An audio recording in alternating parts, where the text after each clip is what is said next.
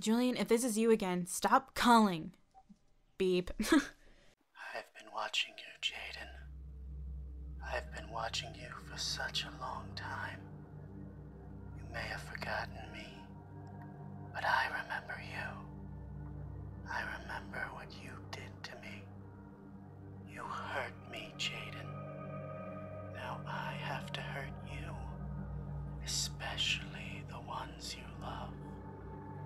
Because it's the only way we will be together.